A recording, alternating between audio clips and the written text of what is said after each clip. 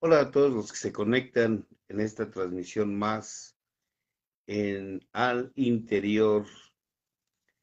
Eh, les iba a decir que como todos los lunes, pero no, la verdad es que todos los lunes no he podido transmitir. Hola, Jocelyn Cañas, Muris Regina, Rocío Roa, Juan Chávez. Saludos, Irma Gutiérrez, buenas. Gabriela Fénix, Leandro Amaya, eh, Mónica Gutiérrez, hola Moni, Viviana Campos, María Guadalupe Rosas, que nos escribe desde Puebla, Guadalupe García, Ari García. Saludos a todos los que se conectan. Socorro Enríquez, a mi Nadab Huerta también, Lucrecia Salas. Bueno, a todos los que se conectan, saludos. Saludos, saludos a, su, saludos a todos. Eh, la verdad es que no había podido transmitir. Hace ocho días no pudimos transmitir porque precisamente el día lunes yo estaba regresando de Naples, Florida, donde, por cierto, le mando saludos a todas las personas que se conectan, perdón, que, estuvieron allá en, Naples, Florida. Saludos a todos los que se conectan, les estoy viendo aquí a todos, a Zach Mani, Delia Bañales Ortiz, en fin. Y bueno, gracias a las personas que estuvieron con nosotros allá en Naples, Florida. Naples, la verdad es que nos la pasamos bien, estuvimos trabajando allá y la verdad es que fue un placer, fue un placer estar allá en Florida. Eh, un excelente lugar, un muy bonito lugar y además pues poder trabajar con todos ellos algo maravilloso. Y bueno, ya todos los demás se conectan. Saludos, saludos y bendiciones a todos ellos. A Mercedes Resina, perdón, Mercedes Rocha, en fin. Saludos a todos, a todos. Y bueno, pues, ¿qué les tengo que informar? Pues tengo que informar que, bueno, ya se subieron algunos compartimientos que vamos a estar dando. El próximo va a ser ahí en Uruapan, Michoacán. Vamos a estar ahí en Uruapan, Michoacán. Eh, la información la tienen ahí en el Facebook. Ahí están los números telefónicos, más bien la dirección, el lugar e inclusive los temas. Vamos a estar por allá y también eh, vamos a estar en Escondido, California, también compartiendo en el grupo Factor X, ahí en Escondido, eh, donde vamos a tener dos o tres participaciones. Allá vamos a estar. Saludos a todos por allá y la gente que quiere estar, pues allá vamos a estar. Recuerden que son entradas gratuitas, eh, los compartimientos. Y también vamos a estar en Tláhuac, si no me equivoco, dentro de ocho días vamos a estar en Tláhuac. Eh, posteriormente se sube la información. Em, ¿Dónde más? ¿Dónde más vamos a estar?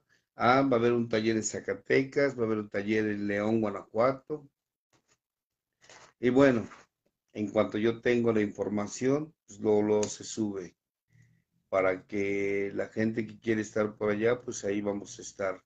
Saludos a todos Brenda Franco, que por ahí nos saluda, a mi amigo Juan Ávila, que se acaba de conectar, te mando un fuerte abrazo, mi querido Juanito, espero que estés cada vez mejor después de lo acontecido.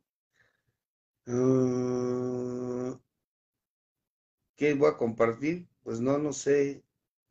Aisha Kalinda. Un abrazo, mi querido Juanito. Ya sabes que se te quiere mucho. Un abrazo. A ver, ¿qué vamos a hablar? ¿Te interesa Tláhuac? Puedes ir por ello, Gabriela Fénix. Llévatelo, le regalamos. Este, no, no sé, en cuanto tenga la información la subo. ¿Ok? A ver, ¿dónde más? ¿Dónde más? Eh, saludos, Clausen. Saludos. A ver, ¿qué vamos a hablar? Bueno, antes que nada, antes de empezar a hablar del tema que, a quien corresponda va a ser dedicado, eh, les informo que en el mes que entra comienzan los grupos que tengo de psicoterapia. Son, unos son presenciales, unos son en línea. Tenemos dos grupos en la tarde, dos grupos el día miércoles y un grupo el día jueves. El miércoles vamos a compartir eh, eh, dos temas, dependencia y codependencia. Y en la noche, simbolismo y iniciación. Son unos en línea y son unos presenciales. De hecho, son combinados. Ahí se les va a dar la información. Y posteriormente, el día jueves, también va a haber otro, igual 7 de la noche. Dos, miércoles y jueves son a las 7 de la noche. Y el día miércoles, el de la tarde, es como a la una de la tarde. Para las personas, para las personas que quieran estar con nosotros, eh, les explico más o menos cómo es la dinámica. Vamos a estar, cinco meses. Eh, y cada semana nos vamos a conectar, vamos a conectarnos tres horas. Por tres horas vamos a estarnos conectando dependiendo de los temas, vamos a estar trabajando y viendo los temas. Y bueno, de acuerdo a lo que esté viendo, que uno es dependencia y codependencia y otro es simbolismo y iniciación. A las personas que les interese, posteriormente les voy a dar el número telefónico o a los números a los que se pueden comunicar. Les doy de una vez los números a los que se pueden comunicar. Eh, uno de ellos es, nos vamos a comunicar con Nancy al eh, más 52, que es de aquí de México, 5626 42 53 10. Lo repito, más 52 56 26 42 53 10. Ese es uno de los números. Y otro de los números donde se pueden comunicar y pueden inscribirse, acuérdense que son grupos cerrados, entran y ya no salen. Comenzamos el mes que entra. Déjeme ver cuál es el otro número que tenemos por aquí. Aquí está con Talía, que es mi hija, y con ellas pueden conectar, contactar al más 52 55 39 19 07 60. Lo repito, más 52 55 39 19 07 60. Esos son los números en los que nos vamos a, vamos a estar ahí este, recibiendo las personas que se quieran inscribir. Si es un cupo limitado, entonces, pues bueno, ahí nos estaríamos conectando todos los días miércoles o jueves por tres horas, que sería de 3 a 4 hora de México y de 7 a 10 de la noche hora de México, los días jueves y el miércoles, eh, perdón, miércoles y el día jueves de 7 a 10 de la noche hora de México, el día jueves. Digo, para las personas que se quieren escribir, bueno, ahí vamos a estar.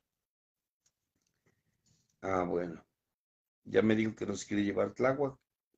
Solo quiere estar presente. Ok, ya te informará.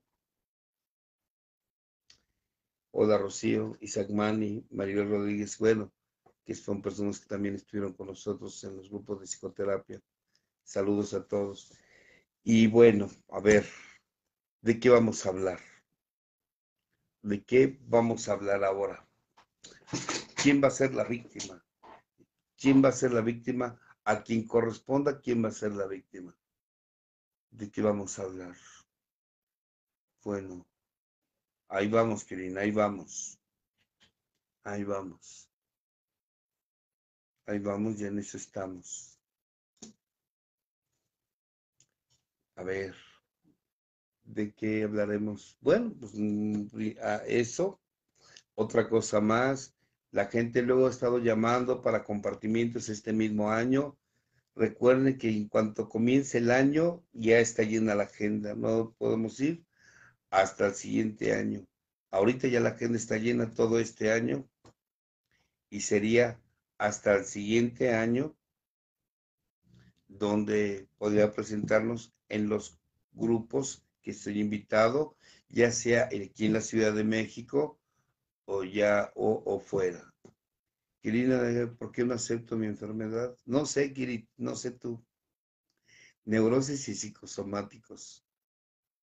¿Por qué no acepto? Me gustaría más ese de la neurosis. Maribel Rodríguez, ¿cuándo haré un tema de Jesucristo?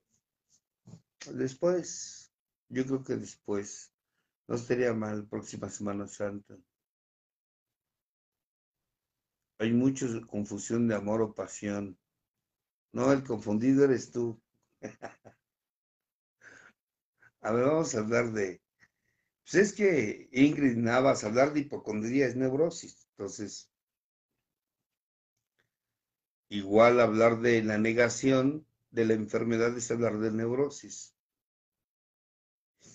Y este quiere hablar de magiosexualización.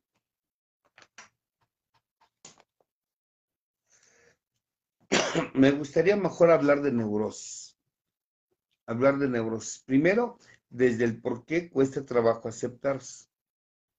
¿Por qué nos cuesta trabajo aceptar eh, la neurosis? Bueno, este es un punto de vista personal. Eh, Ira Fersan ya quiere hablar de espiritualidad y, y lo que vamos a hablar es eso, es parte de la espiritualidad. Bueno, mm, primero tenemos que comenzar qué es la neurosis.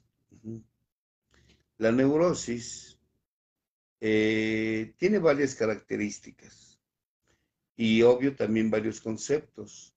Sin embargo, uno de los conceptos que a mí me ha llamado la atención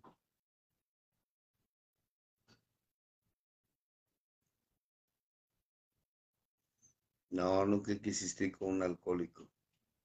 Uno de los principales em, puntos que tenemos que tratar del neurótico, ajá, dice neurosis en la familia. No, con que hablemos de uno, ya para qué hablamos de la familia.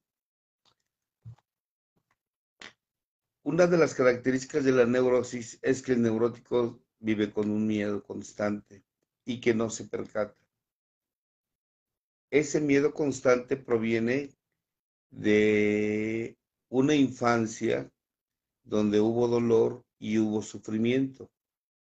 Mas esto no es motivo para que se desarrolle la neurosis.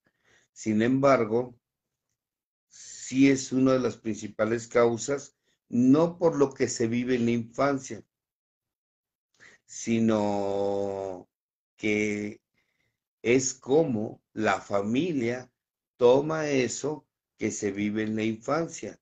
¿Qué es lo que quiero dar a entender? Usted no es, no está neurótico por una situación traumática. A ver, que nos quede claro. Usted no está neurótico por una situación traumática,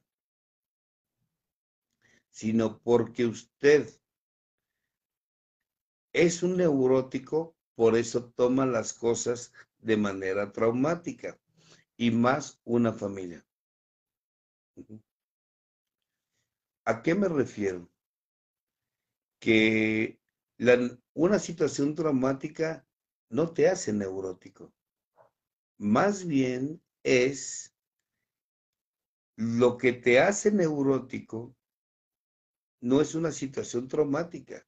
Más bien el ambiente neurótico en el que se vive nos hace percibir las cosas de manera traumática, porque hay personas que viven menos dolor y menos sufrimiento, o más bien más dolor y más sufrimiento que otros, y sin embargo no están como yo puedo estar, ¿no? Hay quien llora y sufre porque no fue aceptado por su mamá o por su papá y vive una neurosis tremenda. Sin embargo, hay quien ni siquiera tuvo a su papá ni a su mamá y su neurosis no es tan grave como aquellos que, que sí tuvieron a sus padres. Entonces tiene que ver la percepción familiar. La familia es importante en la vida de un neurótico. ¿Cómo crecí? ¿Cómo me enseñaron a que tomara aquello con lo que crecí? Uno de los conceptos decía que a mí más me agradan sobre lo que es la neurosis eh, es el hecho de que se considera la neurosis como un, un funcionamiento, eh, mal funcionamiento psíquico y que afecta el cuerpo, que afecta la mente del individuo por situaciones de la infancia no resueltas, pero que no nada más afecta la mente, ni tus estados emocionales, afecta también el cuerpo. Y ahí empezamos a partir o podemos empezar por partir de que el individuo, el individuo, muchas de sus enfermedades físicas son de origen mental y emocional. Ahora, ¿de dónde proviene? proviene de no haber resuelto su infancia. Una. Dos, como resultado de que el individuo no se le enseñó a amar. O sea, tuvimos padres que nunca nos enseñaron a amar, nos hicieron permisivos, nos convirtieron en personas permisivas a nosotros, no nos enseñaron un sí amoroso, no nos enseñaron a poner límites con un no, no nos enseñaron a tener un, sentido de pertenencia, pero tampoco nos enseñaron a perder, ni a ganar ni a perder. Todos los niños somos egoístas cuando nacemos. Y tan así somos egoístas que ¿cómo pedimos de comer? Llorando. ¿Cómo pedimos o decimos que tenemos sueño? Llorando. ¿Cómo, ¿Cómo decimos que me siento incómodo porque el pañal está húmedo, porque he miccionado o he defecado, llorando? Entonces, todos tenemos un egoísmo natural para poder sobrevivir. Sin embargo, aquellos que han vivido,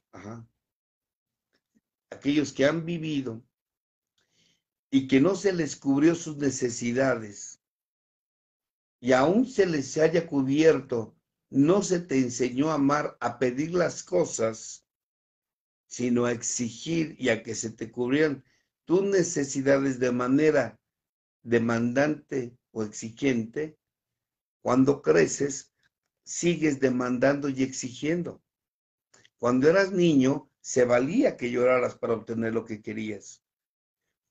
Se valía que tú fueras un receptor de amor, de que se te cubran tus necesidades. Pero en algún momento de tu infancia, tú tienes que aprender a dar, tú tienes que aprender a pedir, a no exigir. Sin embargo, y yo lo he mencionado en otras ocasiones, cuánta gente se le cubrió sus necesidades y sus demandas por el simple hecho de, de que eras el hijo o la hija. Entonces, desafortunadamente, esta persona vive una frustración porque siempre se le cubrió sus necesidades sin un, sin un menor esfuerzo. Nunca se le enseñó a perder ni tampoco se le enseñó a desarrollar un sentido de merecimiento. De ahí el por qué hemos llegado a hablar que es más fácil atender a un hijo abandonado que a un hijo que es sobreprotegido. Esa incapacidad de amar que tiene el neurótico, porque lo tiene, es incapacidad de amar. Eh, el neurótico no se percata, piensa que está en un mundo donde todo se le tiene que dar, todo se le tiene que satisfacer a cambio de su linda cara. Y no es así. Tienes que aprender a pedir, tienes que aprender a solicitar. A veces la forma en cómo nos educaron nuestros padres incrementa esa herida que se pone en el alma porque o nos protegen o nos abandonan. Repito, es mejor ser, haber sido abandonado que ser sobreprotegido. Digo, va para todos aquellos padres que sobreprotegen a sus hijos y que les ha costado mucho trabajo, pero mucho trabajo decirles un no. Un padre que no sabe decir no a sus hijos, lo único que está creando son monstruos.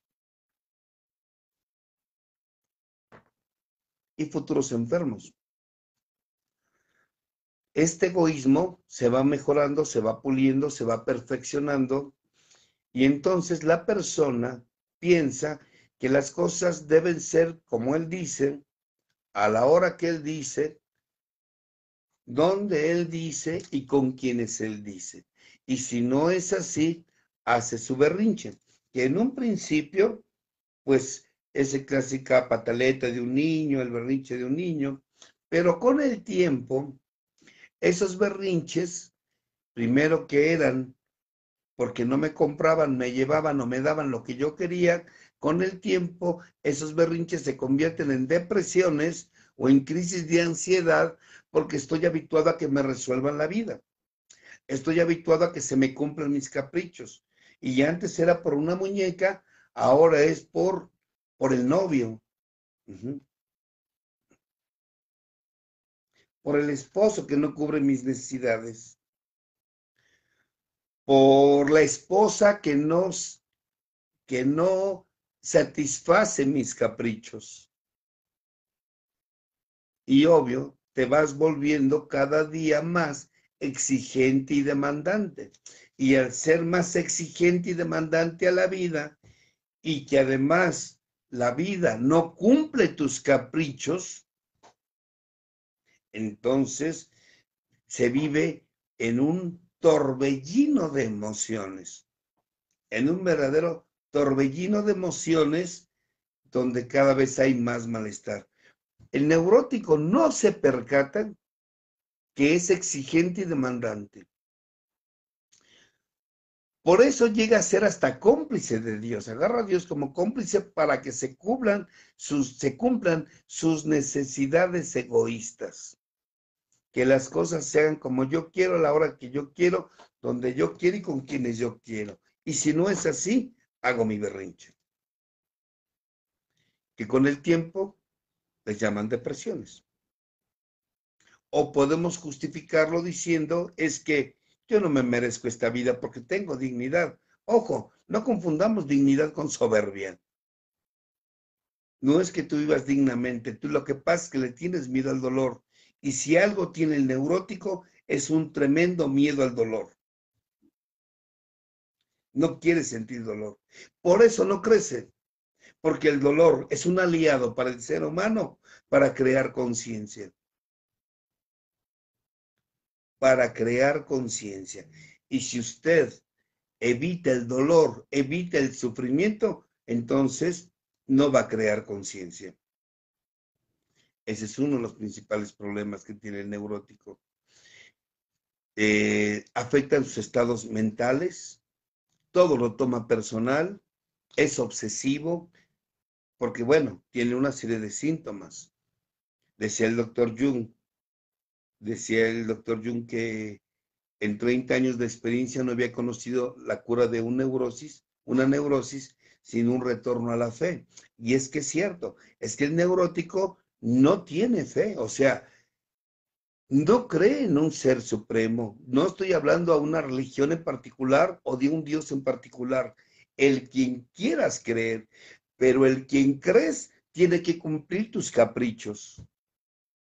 Algo así, yo les he dicho que es algo así como, em, eh, soborno espiritual, algo así. Como Señor, mira, yo te hice esto, te rezo, te oro para que se hagan las cosas como yo digo. Te prendo veladoras. Es más, voy a la iglesia, voy al templo, para que se hagan las cosas como yo digo. Y si no es así, mi reclamo es, Señor, ¿por qué me has abandonado? Porque ese es el concepto que supone. Supone que su padre, su madre, la pareja, los hijos, Dios, el presidente, todo el mundo tiene que pensar en lo que esta persona puede estar sintiendo o puede estar pensando. Se siente el eje del universo. Y entre más piense así, más va a sufrir. Más va a sufrir. Porque eso nunca va a existir. Dios no está para cumplir tus caprichos. Tus padres estaban ahí para satisfacer tus necesidades cuando tú, cuando tú eh, realmente los necesitabas. Pero a veces hemos llegado a tener 20, 25, 30, 40, 50 años y seguimos siendo demandantes de nuestros, de nuestros padres.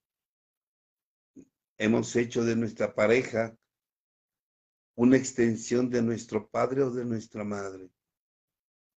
Y hemos hecho de nuestros hijos personas a las cuales a través de ellos queremos realizar lo que nosotros no pudimos realizar en nuestra infancia. Usamos a la gente sin darnos cuenta. Y cuando la gente no cumple nuestros deseos, caemos en depresiones o siempre con esa ansiedad a que no vaya a suceder las cosas como yo supongo que deban de suceder. Se usan infinidad de estrategias, desde la manipulación, el chantaje, hasta la ira, enfermedades, suicidio o intento de suicidio porque la vida no me cumplió mis caprichos. Qué triste para el neurótico. Pero bueno, vamos a hablar de algunas reacciones eh, del neurótico. Eh, reacción depresiva. El neurótico tiende a ser depresivo. Tiende a ser depresivo y la depresión es una reacción tan, pero tan espectacular.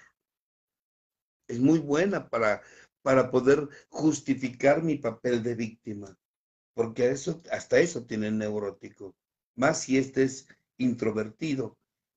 Nos podemos estar en el papel de víctima. Y en ese papel de víctima, en ese papel de víctima, podemos estar ahí. Siempre creyendo, creyendo que todo el mundo nos hace. A ver, dicen que no se escucha. Ya les pregunto a ustedes. ¿Me escuchan? A ver, nada más es Lisette la que no escucha. ¿Se escucha?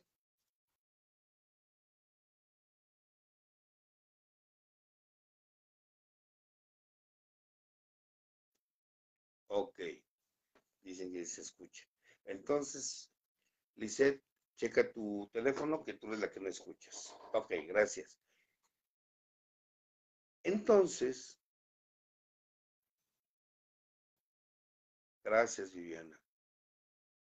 Entonces, es muy buena la depresión porque nos pone en un papel de víctimas. Nos encanta y nos fascina estar en un papel de víctimas porque las víctimas son irresponsables.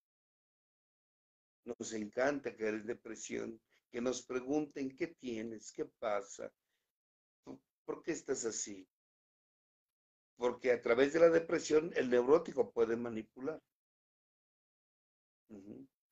Claro, después de mucho tiempo estar cargado con esos estados emocionales, con esa manera de vivir, obvio que caes en estados depresivos, ¿cómo no vas a estar con crisis de ansiedad si piensas que la vida tienes que controlarla? Si piensas que la, que la vida la tienes que controlar y quieres controlar, ¿saben? El neurótico sufre más por el futuro que por el pasado. Aunque te hayan hecho creer que por el pasado estamos así. No. El neurótico sufre más por el futuro, porque no sabe, porque no sabe qué va a suceder. Y el neurótico quiere tener todo bajo control. Porque si algo tiene miedo, es a sentir dolor. Por eso vive en un círculo constante, repetir lo mismo, lo mismo y lo mismo. Tiene también reacciones ansiosas, la taquicardia, siente que le falta el aire, el vacío en el estómago, la presión en la cabeza, ese hormigueo en las articulaciones, disnea,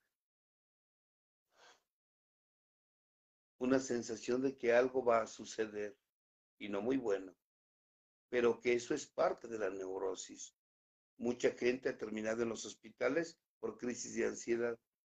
Y bueno, lo único que le van a recetar, le van a aplicar intravenosamente un ansiolítico, suero y eso es todo, va para afuera. Usted no tiene nada más que ansiedad. Y esa crisis de pánico es porque usted ha estado más al tanto de los demás que de usted. Porque usted quiere manipular y controlar a todos. ¿Cómo no le va a dar ansiedad si no come sus horas, si no duerme a sus horas? No me pregunten a mí, Ingrid, búsquelo en un diccionario.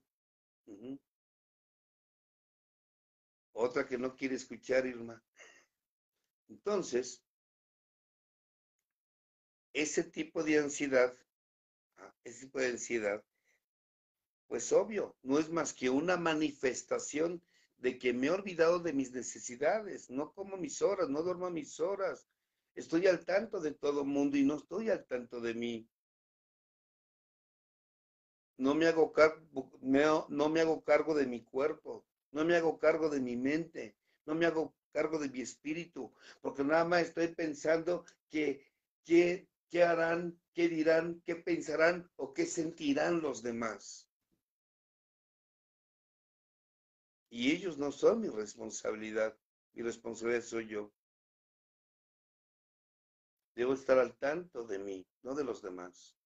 El neurótico trata de controlar todo. Por eso a veces es reprimido. Todas las emociones se las guarda. Y no porque sea muy maduro y controle sus emociones, las reprime. Y tarde o temprano saldrán enfermedades. O es explosivo, ¿ah? un neurótico en potencia que empieza a dañar con su ira, con sus celos, con su resentimiento a otros. Otra de las reacciones que tiene el neurótico es que es obsesivo y compulsivo. Se le conoce como TOC, trastorno obsesivo compulsivo, compulsivo, que no es más que el resultado de conflictos no resueltos, que no fue por una situación traumática, lo repito, no fue una situación traumática lo que lo tiene así, neurótico, no, más bien porque usted ya era un neurótico, por eso ve las cosas de manera traumática. Una persona sana, lo que usted vivió, no lo pone como usted se puso. Por eso tiene TOC, trastornos obsesivos compulsivos, como estarse lavando las manos constantemente, como de manera obsesiva y compulsiva bañarse después de tener sexo, como no pisar las líneas cuando va caminando por las calles, o contar el número de las placas, aritmomanía se llama, los números, siempre estar sumando números, sumando números, sumando números, ajá, o les voy a poner uno. ¿Han escuchado a gente que cuando habla de manera obsesiva y compulsiva tiene que decir una grosería? Voy a poner un ejemplo así un ratito. Chale, compás, entonces que chingue su madre, ¿no? Entonces que chingue su madre, compás, y entonces que chingue su madre, y que chingue su madre, y se la pasan de 10 palabras, 11 son groserías. ¿Sí me explico? Y esto es muy común en los grupos cuando se comparte en tribuna. Se llama síndrome de Tauret. Cuando de, cuando de 10 palabras, 11 son groserías. Y eso es una obsesión y compulsión como resultado de estar reprimiendo emociones y sentimientos.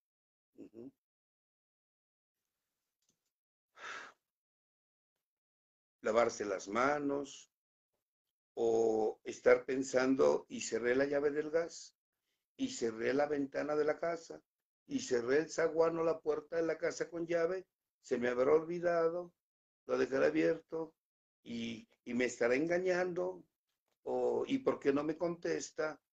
Y entonces empieza la persona a sentir una ansiedad que no es más que un toque. ¿Ok? Eh, obsesivos compulsivos. También podemos hablar de reacciones de conversión. Así es, Clausen. Eh, las personas tienen reacciones de conversión, o sea, cuando una persona convierte un problema mental y emocional en físico. Dolores de cabeza, migrañas, gripes, taquicardias, hipertensión, colitis, gastritis, que cuando las emociones están mucho tiempo en nuestra mente en, en nuestra mente, en nuestra alma, obvio, con el tiempo se manifiestan en enfermedades. La persona cambia su estructura mental, cambia su manera de vivir y se sana. Lo mismo sucede con mm, todas las enfermedades, todas, todas, todas, todas cuando estas son de origen mental y emocional, que la mayoría son, ahí están presentes. Y eso produce reacciones de conversión. La persona tiene tensión, estrés y le da gripe. La persona tiene tensión, estrés, miedo a enfrentar algo y se enferma. Es más, hasta diarreas le dan del miedo. Están las reacciones de disociación como la amnesia, solambulismo e inclusive estar viendo la televisión, estar viendo o leyendo y su mente está por otro lado. Esas reacciones de disociación que se presenten, la persona se disocia, tiene problemas de concentración, tiene problemas de atención y dichos problemas lo han llevado o lo llevan a, tener problemas de concentración, inclusive de memoria. Una persona con acciones de disociación se olvida. Desde pequeños detalles, como no saber qué va a hacer ahorita en estos momentos, a eh, o olvidarse pedazos grandes de su infancia, no acordarse inclusive qué hizo ayer o qué comió ayer,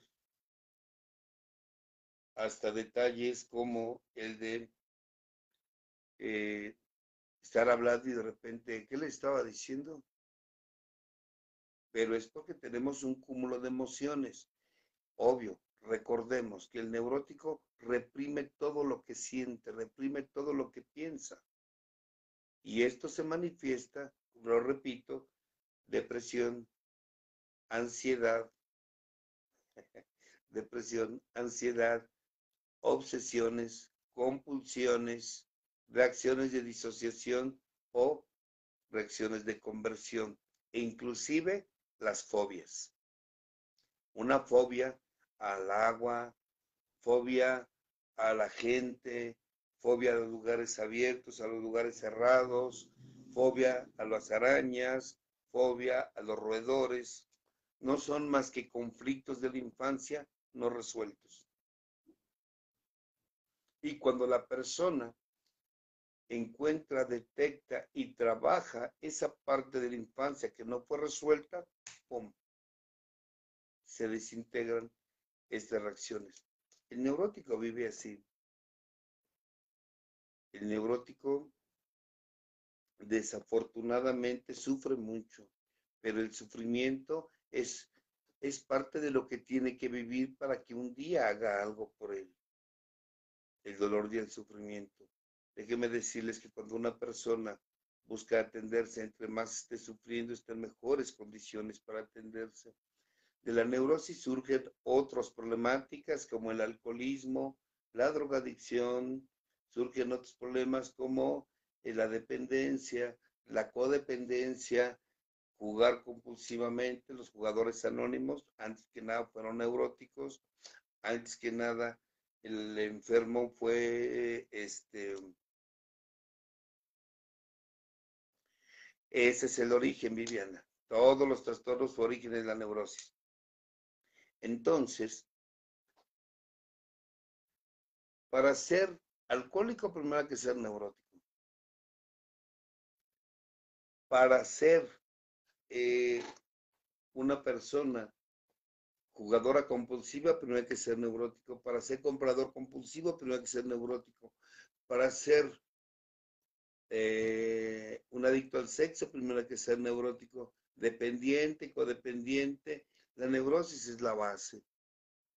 La neurosis es la base. O sea, no importa cuál sea tu fuga, lo que nos estás diciendo es que tienes un conflicto en tu infancia no resuelto. Y se trata de que vayas resolviendo tus conflictos poco a poco y de manera paulatina. Trastornos, como ahorita les mencionaba, el límite de la personalidad, trastorno de personalidad dependiente, el trastorno evitativo, trastorno histriónico, trastorno esquizotípico, trastorno esquizoide, trastorno paranoide, trastorno eh, psicópata, o sea, todos los trastornos, hasta el más sencillo que es el trastorno dependiente, tienen un origen y es la infancia. Tienen un origen y es lo no resuelto. Tienen un origen, bueno, dos, que es algo característico del neurótico. Uno, que no sabe amar y dos, que no confía ni cree en un ser supremo. Esos son los puntos importantes ¿ah? en un neurótico. Es natural, es natural que el enfermo a través de su vida se esté dando cuenta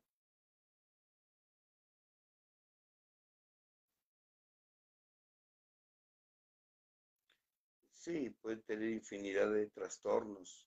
Es más, la, mayoría de nosotros tenemos trastornos, pero hay trastornos y se trata de que tenga los trastornos, pero que te conviertas en una persona funcional.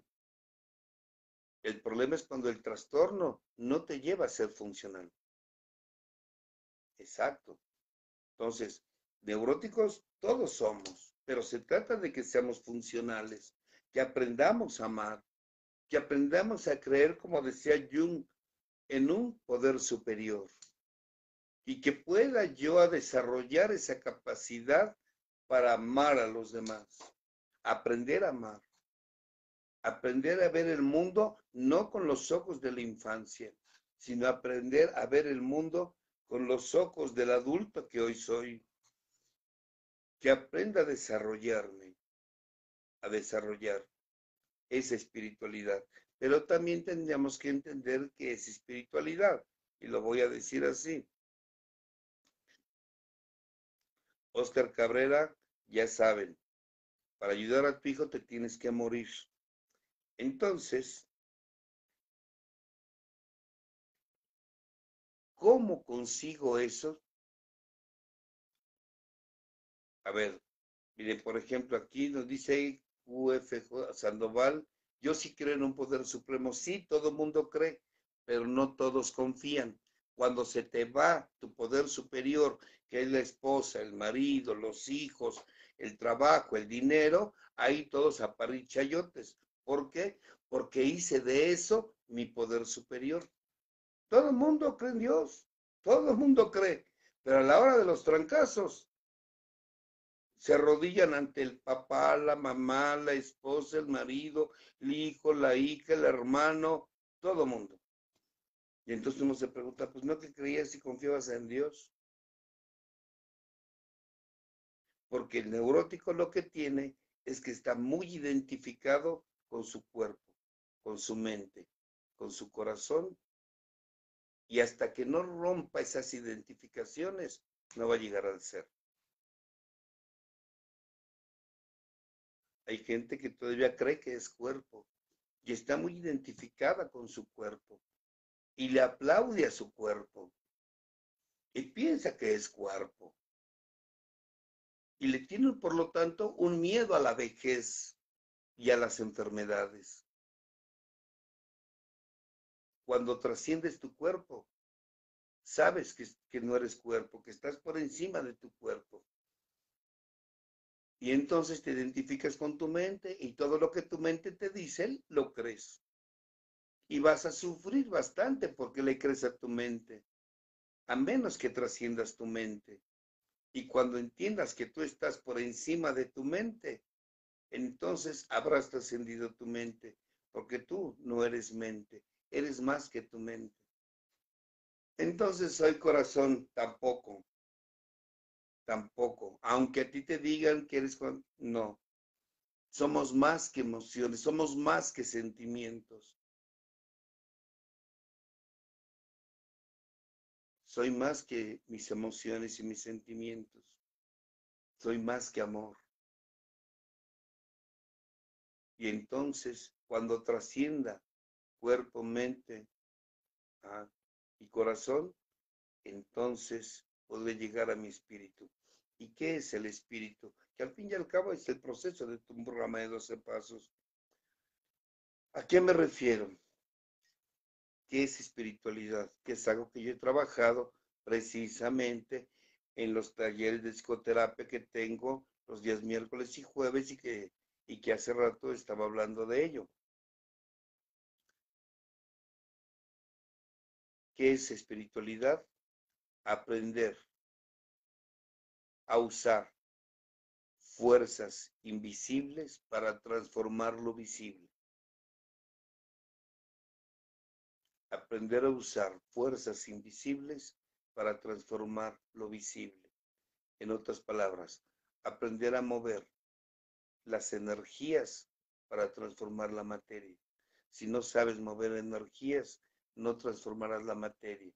Y las energías están aquí adentro aquí están adentro. ¿Sí me explico? Ok. Aprender a amar, dar sin esperar. Dar sin esperar. Pero, ¿qué enemigo nos impide aprender a amar? El enemigo es el ego. Porque el ego no permita que miramos adentro. El ego nos hace creer que todo el problema está afuera y que tenemos que cambiar a los de afuera. No, el problema no es afuera. El problema no es tu esposa, ni tu marido, ni tu hijo, ni tu hija, ni el trabajo, ni, o sea, el problema no está afuera.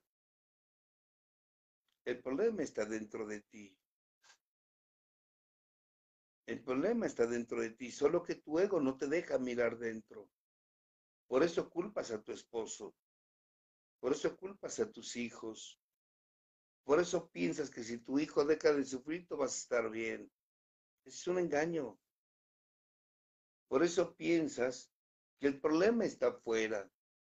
Y entonces me ocupo de arreglar mi cuerpo, aunque por dentro tenga excremento. No, el problema no está afuera. El problema está dentro de mí. Y cuando mi ego ha sido sometido, me permite mirar hacia adentro Y aunque es doloroso, aunque es doloroso, mirar hacia adentro es lo más sano.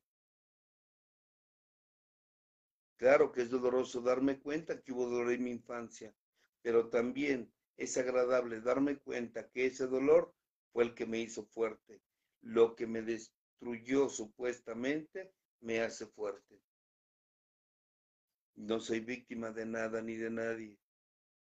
Era lo que tenía que vivir para crecer.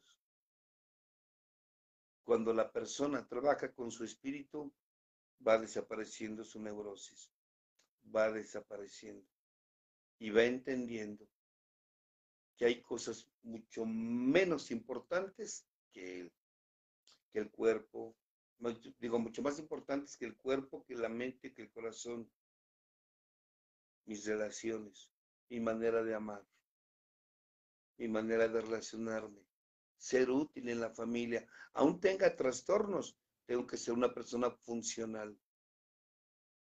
Pero cuando tu trastorno te ha mutilado, te ha incapacitado, e inclusive socialmente o, o en el trabajo, hay que atenderse. Y en algunos casos es necesario tomar medicamentos controlados porque su trastorno ha llegado a un límite muy grande, muy alto, a grado tal que lo ha incapacitado para vivir y para funcionar. El objetivo es, cuando trabajas espiritualmente, que seas un hombre y una mujer funcional, que aprendas a, aprendas a vivir entre todos los seres humanos, que te des cuenta que no eres más que un ladrillo en la pared y que el éxito no está en posesiones, en halagos, triunfos profesionales, no, porque yo conozco mucha gente exitosa y sufriendo. Todos nosotros hemos visto a gente exitosa, empresarios, cantantes, este, profesionistas exitosos, brillantes, pero sufriendo, solos, porque ni siquiera, ni siquiera están solos por convicción. Y ni siquiera están disfrutando de su soledad.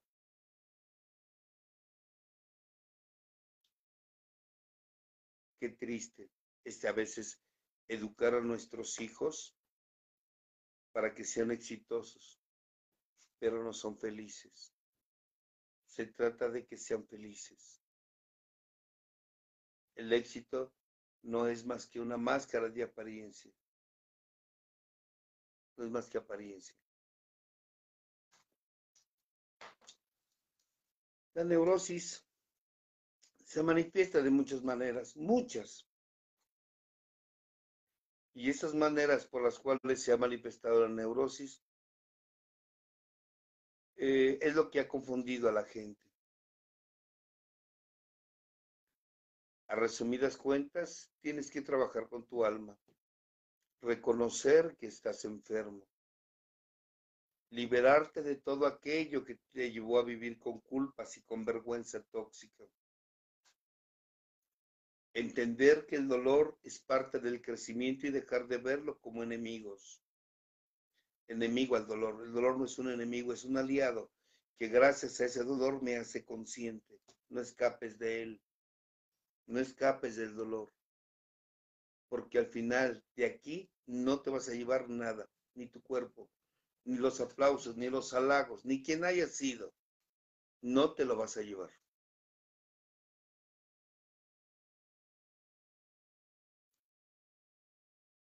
No te vas a llevar tus bienes. Nada.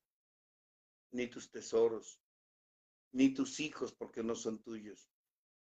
Ni tu compañero o compañera de vida te la vas a llevar. Deja de controlar porque no es tuyo ni es tuya. Tienes que soltarlos. Es más, tu familia no es tu familia. Todos somos familia. Todos. ni ellos te vas a llevar.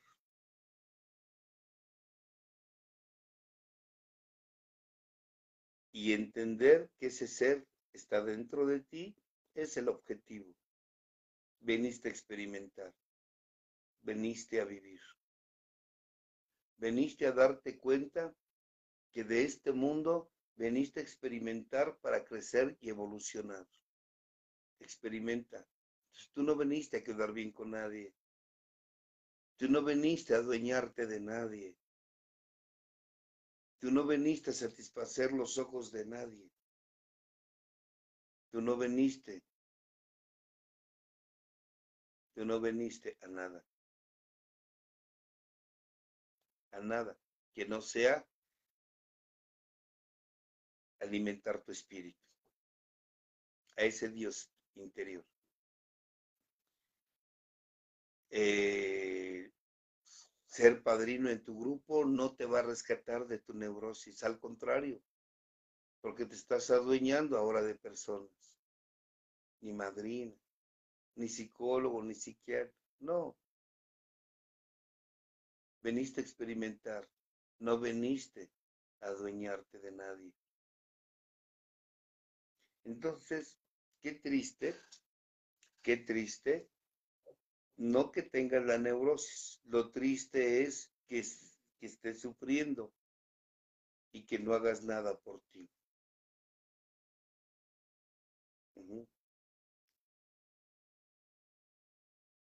Por ejemplo, miren, aquí me dice, el problema es que luego la familia se hace algo, si haces algo, no respeta las decisiones. Tampoco vengo para complacer a mi familia. Tampoco y ni me interesa que la respeten. Tampoco. Yo no vengo a complacer a mi familia. No vengo a complacer a mis hijos, ni a mis hermanos, a nadie. Yo tengo que ser yo. Porque desde el momento en que tú, tú estás haciendo las cosas para satisfacer los ojos de otros, aguas porque cuando no lo satisfagas, entonces vas a terminar como víctima y reprochando todo lo que hice por ti o por ustedes. Es muy complejo. Es muy complejo y muy profundo estar hablando de liberar el espíritu, de fortalecerlo, de quitar esas capas y capas y capas de inconsciencia que se tienen que ir cayendo a través de un camino. Entonces, pues ahí se los dejo de tarea. La verdad es que es un placer. Dentro de ocho días también vamos a estar aquí conectados eh, en este tema. Y nuevamente informo para aquellas personas que me han dicho no da consulta, no, ya no doy consulta. Uno de los motivos es porque me voy a ir de aquí uno de los motivos que me voy a ir de aquí, entonces vamos a estar en Toluca, entonces bueno. Pero tenemos grupos de psicoterapia, repito, son tres grupos, dos el día miércoles, uno el día jueves, el día miércoles, una de la tarde, hora de México, siete de la noche, hora de México, comienzan, son tres horas, y eh, el jueves, siete de la noche, para las personas que se quieran que si quieran inscribir, voy a volver a repetir los, voy a repetir los números. Se pueden comunicar con Talía al más 52, que es la clave de México, 55 39 19 07 60. Hay todavía lugares, ya no muchos, pero hay lugares. O comunicarse con, déjenme lo encuentro, ahí está ya, o comunicarse con Nancy al más 52, que es el área del país, 56 26 42 53 10. ¿Vale? Bueno, para las personas que se quieran anotar, aquí estamos. Eduquen a sus hijos edúquenlos, no seamos negligentes, es parte de la neurosis también. Entonces, las personas que quieren inscribir, estamos, todavía hay algunos lugares, por, y duran cinco, o tres horas cada sesión, los días eh, por día, tres horas por día. Nada más nos vemos un día por semana por cinco meses, grupos cerrados. Con ese comenzamos y con ese terminamos. ¿Ok? Ya está anotando ahí Nancy en el número telefónico. Espero que puedas también poner el otro para quien quiera. Que si habrá terapia por Zoom, sí, estamos dando terapia por Zoom. Bueno, pero por mis pacientes, ex pacientes. Cuando esté yo allí en Toluca, voy a dar terapia por Zoom, claro que sí. Y solamente a ex pacientes, que quede claro. ¿Vale? Eh, gracias, Irma. Te mando un abrazo. También vi a Julio Martínez. Te mando un abrazo. A la doctora Angélica Hernández. Doctora Angélica Hernández, también te mando un abrazo. ¿A quien más leí por ahí? A Guadalupe García también. Saludos. A Lucero Méndez. Lucerito, un abrazo. Lili Miranda. Ahí está mi querido Julio. Ya contestó. Sí los había leído. Les mando un fuerte abrazo a todos ustedes y bueno, cuídense mucho, pórtense mal. Yo me tengo que desconectar porque tengo que hacer una actividad ahorita, tengo que atender a una persona. Y bueno, mi querido Gabriel Martínez que se conecta, te mando un fuerte abrazo, Gaby. Saludos.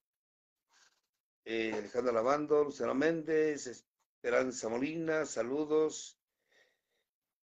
QFB Sandoval también, Angélica Hernández, saludo, Alba Vélez, María Jordines, perfecto, abrazos, Guillermo Mestas, este, ya Guillermo ya subí el flyer para el taller ahí en Zacatecas, ya está la información. Y acuérdense, voy a estar en Uruapan, Michoacán, vamos a estar por allá compartiendo. Vamos a estar también en Escondido, California, y vamos a estar también en, en Tláhuac. La información de Tláhuac después se les sube, ¿vale? Toda la información ahí la vamos a poner. Cuídense mucho, pórtense mal, pero cuídense bien. Dios los bendiga. Les mando un fuerte abrazo. Eh, todavía no tengo la información de Tláhuac, pero se va a subir. No vayas a Zacatecas o llévate chaleco antibalas. ok, Manuel Pascuali. Cuídense mucho.